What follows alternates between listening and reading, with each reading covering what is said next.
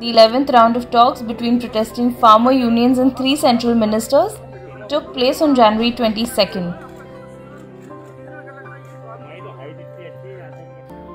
They are trying to break the nearly two month long deadlock on the three new agri laws. In the last round of meeting held on January 20th, the government yielded some ground in its bid to end the farmers' protest at the borders of the national capital. The centre had offered to put on hold three laws for 12 to 8 months and also set up a joint committee to find solutions.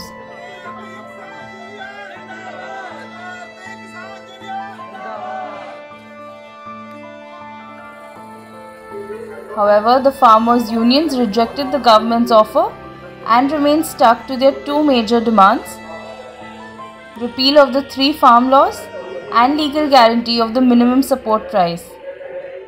Farmers group said that they will continue to protest and also hold a tractor rally on January 26th, the Republic Day.